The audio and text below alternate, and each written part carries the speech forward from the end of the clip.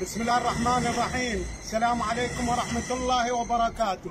إلى أهالي محافظة النجف إخواني عاجل.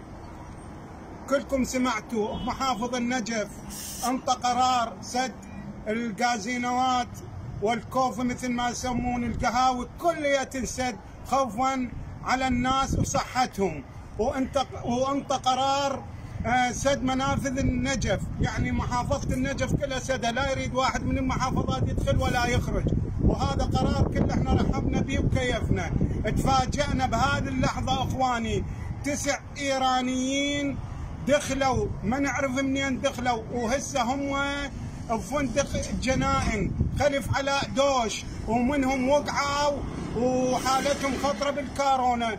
وهسه مخبوصين خبص الصحة والقوات الأمنية نريد نعرف ذولا منين دخلوا. زين أنتم تضحكون علينا يا حكومتنا؟ جاي تستهزون بالأرواح؟ هذه خيانة والجميع يتحاسب. ذولا شلون دخلوا؟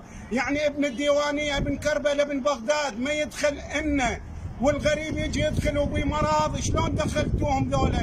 إلا مقصودة هاي الكلمة. وعلى الجميع مشاركة هذا الفيديو. خل يوصل أخوكم حيدر ناجي الجنابي الناشط المدني المستقل. شكرا.